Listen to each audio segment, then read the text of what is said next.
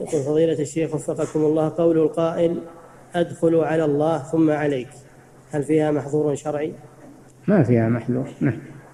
استجير يعني استجير بالله ثم بالمخلوق لا بأس. نعم. يقول فضيلة الشيخ وإن أحد من المشركين استجارك فأجره. نعم.